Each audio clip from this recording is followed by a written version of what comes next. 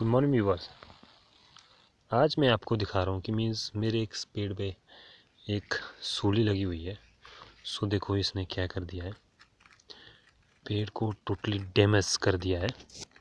सो आपने ऐसा करना अगर आपके किसी पेड़ में ऐसी लगी है तो उसको प्रॉपरली निकाल के बाहर बाहर कैसे निकालना है? जो इसका जहाँ से छेद जहाँ से अंदर गई है, वहाँ पे इसको यहाँ से बाहर निकालने की कोशिश करना। अगर बाहर ना निकले तो ऐसा करना कि इसमें जो है,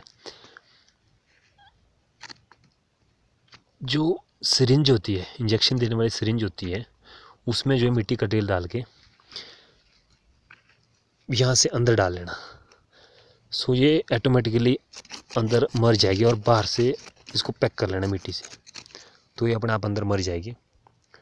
सो इससे जो अपना पेड़ आप बचा सकते हैं, ताकि ये सूली अंदर